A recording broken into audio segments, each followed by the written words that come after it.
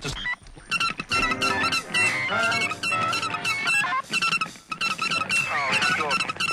and in later clashes. It claimed responsibility for the